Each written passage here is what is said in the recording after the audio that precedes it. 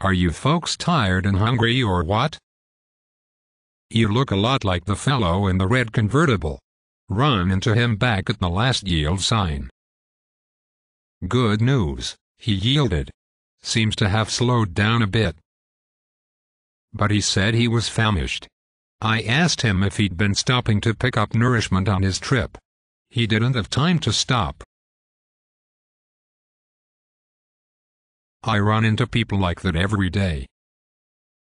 They don't have time to stop and take in spiritual nourishment.